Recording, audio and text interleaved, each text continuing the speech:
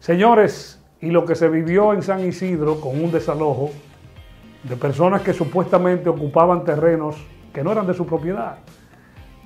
El Ministerio de Defensa y otras instituciones del Estado desalojaron a un grupo grande de familias de San Isidro en la capital. Y estas personas están tristes, apenadas. Ahí dentro del grupo de personas desalojadas hay un ex policía, un ex agente de la policía y se expresó delante de las cámaras muy, pero muy irritado con este gobierno y las acciones. Él dice que a Luis Abinader lo están engañando y le hablan muchas mentiras. Vamos a ver qué dice el ex policía. Luis Abinader lo están engañando. Luis Abinader le están hablando pileta de habladuría. ¿Quiere que le diga por qué? Porque anda una circular por ahí rodando que salió del Ministerio de Defensa, a donde dice que iban a realizar un desalojo a nacionales haitianos que estaban arrabalizando la zona de amortiguamiento de la Fuerza Aérea de la República Dominicana.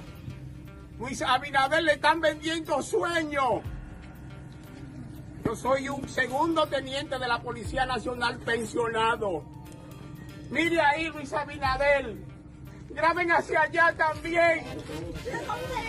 Todo, todo eso no son haitianos. Yo no soy haitiano, Luis Abinader. Me dejaste en la calle. Mi familia y yo, Luis Abinader, ahora dormimos donde nos coja la noche. Llegamos a hablar mierda y desde que nos dan la sella decimos, aquí ya vamos a dormir porque tú me dejaste en la calle. Tú y tu maldito funcionario. Yo no creo que tú así pases de cuarto, Luis Abinader porque tú estás trayendo sufrimiento a este pueblo y desgracia. Ayer se conoció en la Cámara de Diputados, en la tarde de ayer, en primera lectura, el Código Penal de la República Dominicana, en primera lectura. Hay que seguir revisando, paso a comisión. Dice Servio Tulio Castaños, que ese código penal que se aprobó en primera lectura solo castiga la corrupción con penas de dos y tres años. O sea que el que se robe, por ejemplo, mil millones de pesos, que haya malversado, que haya hecho actos dolosos en el gobierno, sería un corrupto. Si se le prueba en los tribunales, lo que va a durar es tres o dos años preso por haberse robado el dinero suyo y el mío los cuartos que uno suda y paga a través de los impuestos, que son bastantes en este país. Así está el código.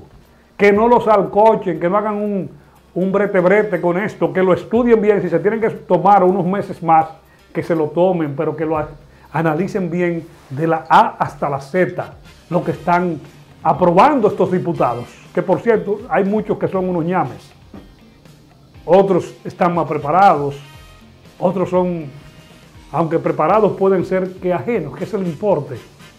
Y ese es el problema. Entonces hay que castigar la corrupción porque es robo. Porque solo se está hablando del tema del aborto, que las tres causales, que si sí, que si no, pero hay muchos otros temas ahí. Muchos otros temas que hay que definir muy bien en este país.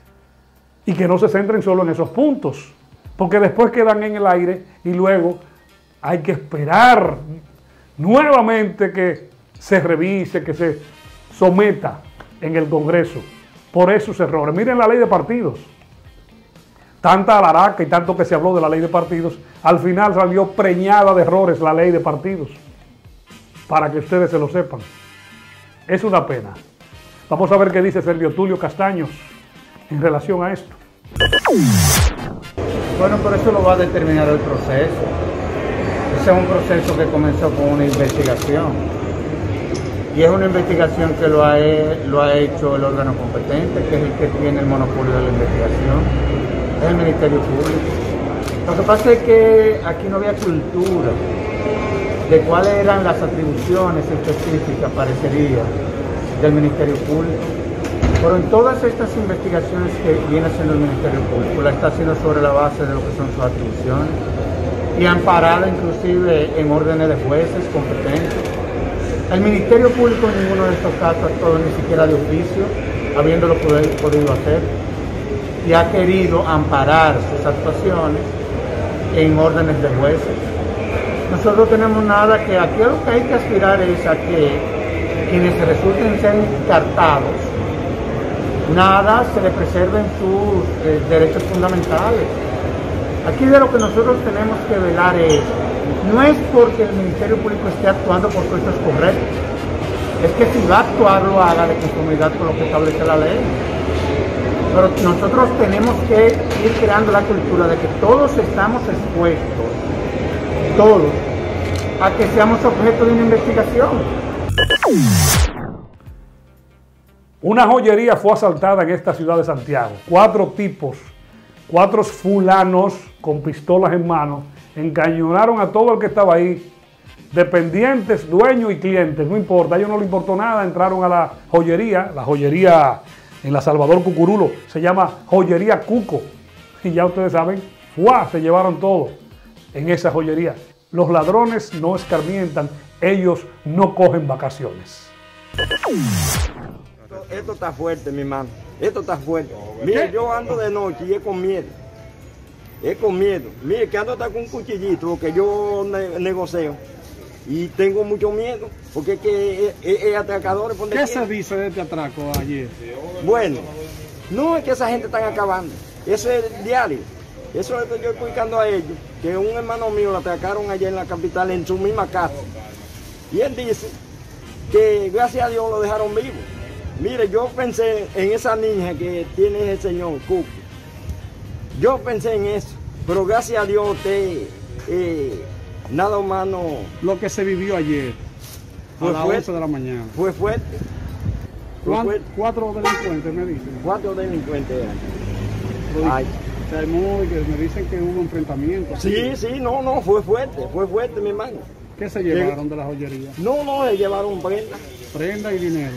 Eh, no sé dinero, pero se llevaron mucha prenda. Ay, sí.